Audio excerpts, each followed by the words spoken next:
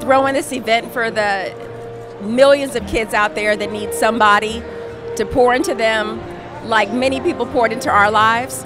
Um, we've had the blessing to, to grow a Team 22 program of mentorship.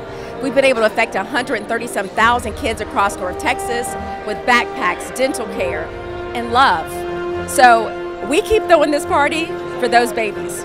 We're just looking forward to celebrating uh, all of the students. Obviously, their effort, uh, the ones who are graduating and, and moving on off to college, celebrating them through this whole entire process. And so we're excited for them, we're excited for their families, and uh, we're excited to be have an opportunity to raise more dollars too so we can continue to impact this community and others.